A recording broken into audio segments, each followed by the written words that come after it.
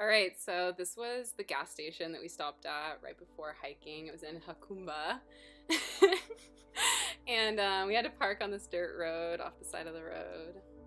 Uh, we started walking down the train tracks, and it wasn't too long until we found Nudist this resort! sign that talks about the news store, which is down the street. We did not visit, unfortunately. or fortunately, depending on how you think about it.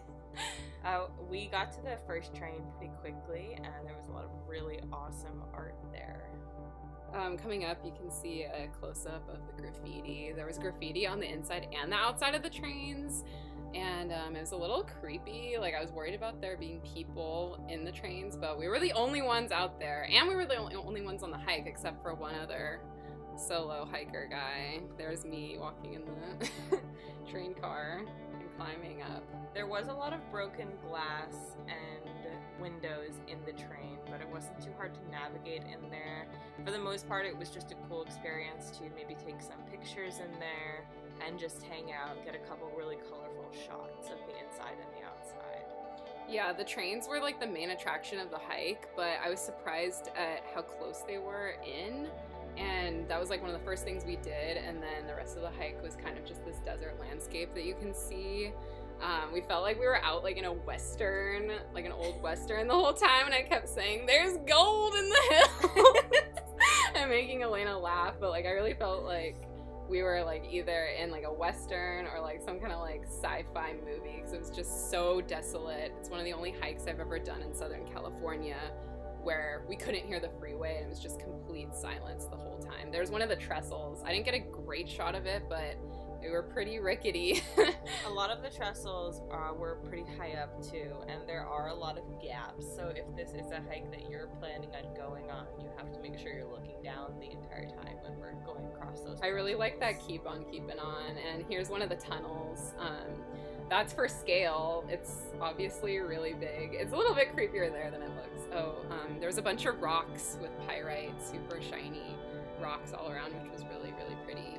As you get further down into the trail, there's some.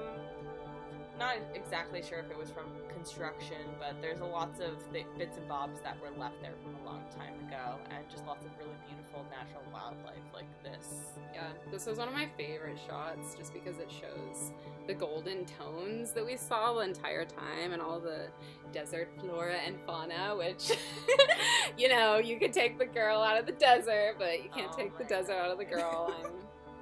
There's some more of the graffiti. There was graffiti on like literally everything, and here we are in the, This the is tunnels. the darkest tunnel. This tunnel probably took us around 20 to 25 minutes to get to the end of. It was a little bit creepy near the middle because Calla started talking about very creepy situations. Okay, okay.